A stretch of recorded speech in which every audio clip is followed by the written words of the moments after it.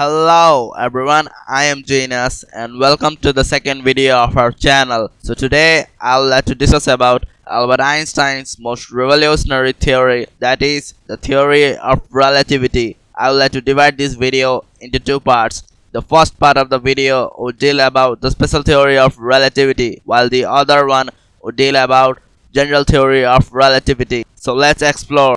Firstly, let's get on the same track. Some of you already have an in-depth knowledge about it, while the others are trying to learn from scratch. The first basic question that will arise in the mind of beginners is what is the meaning of relativity? Relativity was derived from the word relative, which means with respect to something. So in this way, theory of relativity is based upon two postulates. The first postulate is the laws of physics are invariant in all inertial systems which means that if two objects are in rest with respect to something, then they both experience the laws of physics or working mechanism of a physical phenomenon in the same way.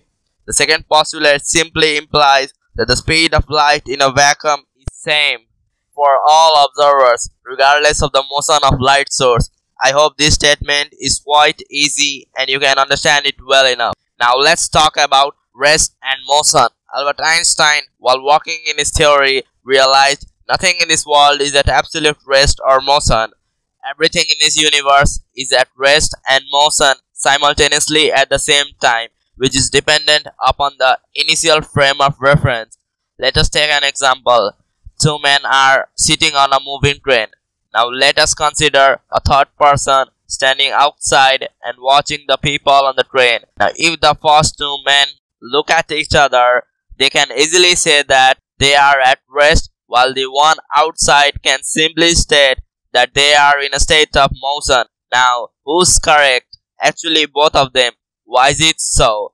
It is simply because a person with respect to the other one in the train is at rest as the initial frame of reference is actually moving at the same rate as the person in the train. Here, initial frame of reference denotes the person in the train while in the next case, the initial frame of reference is outside the train and not moving along with it. That is, third person observing the people inside the train.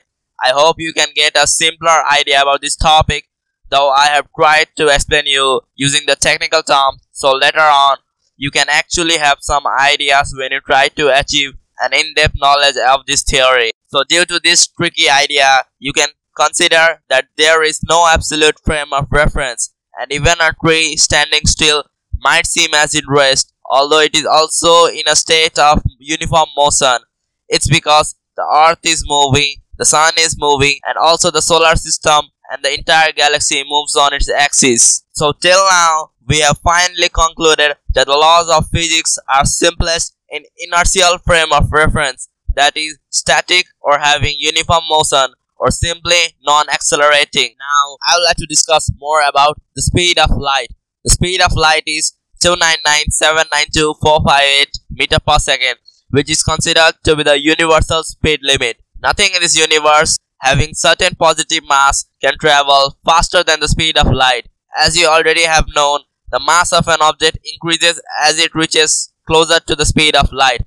But how the hell can the mass be generated out of nothing? To explain it, we can simply take an assumption. To speed up something, we need to provide certain energy to that object. Now let us consider this the speed of light is very fast. So tremendous amount of energy is required to accelerate closer to the cosmic speed limit.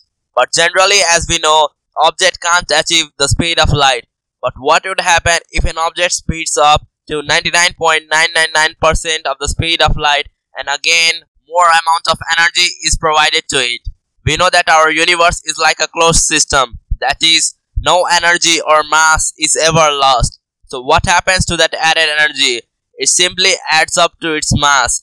Now you have got an idea of how the body increases its mass when it travels closer to the speed of light. But as you know, even if you can travel at certain percent of the speed of light, you gain some mass. That is, the relativistic effects are observed. So actually, while you accelerate to a higher speed limits, more energy is actually wasted as it adds up to your mass, while increases just a bit of your speed.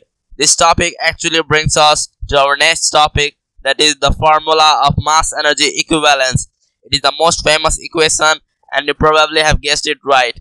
The equation is E equals mc square where E, m and c stands for energy, mass and the speed of light respectively. C is used for the speed of light because C denotes celeritas, a Latin word which means swiftness. Accelerating bodies moving very fast experience relativistic effects like time dilation, length contraction, etc. Now, let us switch gears and talk about time dilation. Time is not absolute and it is also relative. That is, it depends upon the frame of reference or a point in space-time.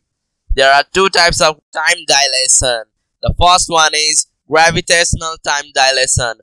Time begins to slow down for an individual who tends to be in a region having strong gravitational pull. This simply means that clocks in the region having strong gravitational pull tends to pass more slowly than the ones far away from such regions. The second one is velocity time dilation. If an object moves at a very high velocity, closer to the speed of light, it experiences time dilation.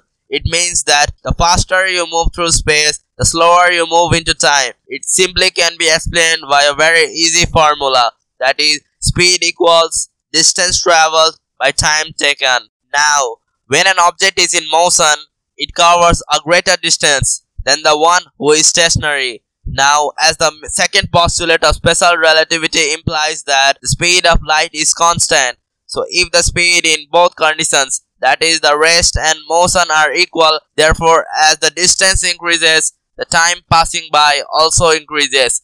Here i didn't mean to say that the time passes faster or the number of seconds get increased.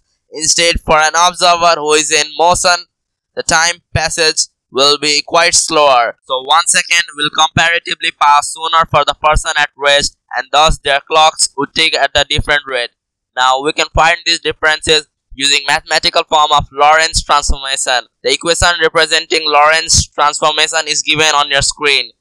From this formula, it is easier to calculate time dilation, length contraction and also the relativistic mass. Relativistic mass simply means increase in mass when an object travels very close to the speed of light. So now, let's freshen things up.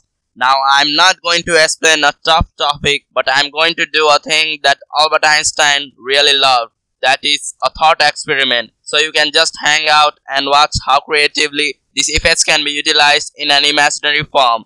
The question here is what's the topic about this experiment? The topic of this experiment is what happens when you travel very close to the speed of light, equal to the speed of light and also faster than the speed of light. So you are speeding very faster, then you realize you start feeling paranoid as you experience the relativistic effects. In reality, you won't experience it but let us think it for a second in an imaginative form. Time would slow down for you. And as you spend one second in your spacecraft traveling at 60% of the speed of light, your one day in satellite would be equivalent to 30 hours on Earth. As you speed up to 80% of the speed of light, 24 hours in space would seem as 40 hours on Earth. Then everything including you would start to gain mass. You would grow heavier and appear to shrink in size due to length contraction, but you wouldn't realize these effects because your body would function slower, your thought process would decrease at the exact rate as your time slows down. Since it's an imagination, let's consider you reach the speed of light. The particles of light, that is, the photons, would never reach you and you would not see anything.